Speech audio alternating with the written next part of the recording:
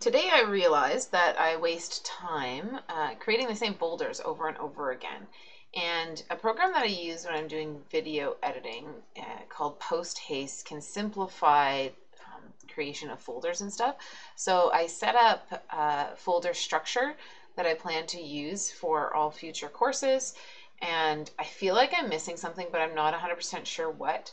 Um, so I have a folder for assignments, my syllabus, tests and exams, and then inside these folders, uh, I have some common links. So the syllabus link is something that I use often. I should maybe add some other stuff in there, but I'll do that as I go this semester, and then it'll make it faster for next semester. Under tests and exams, I have the exam analysis template. Now, anytime that I use the word template, the word template will get replaced by the course code or whatever else I choose to replace it with when I create my folders.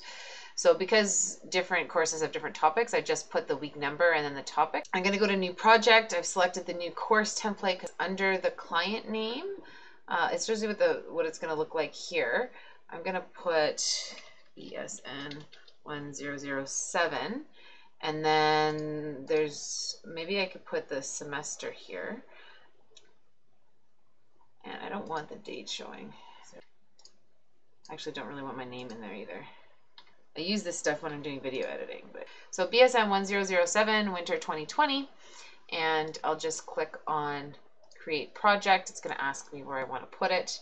Now this is where I want the folder to be located. You'll see I already have a folder here, but it's got junk in it. So I want to create a better folder structure for all my courses.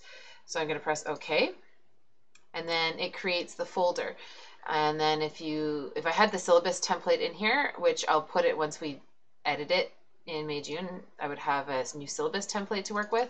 But under tests and exams, you see exam analysis, and then where the word template was, it changes it to the course information that I put here.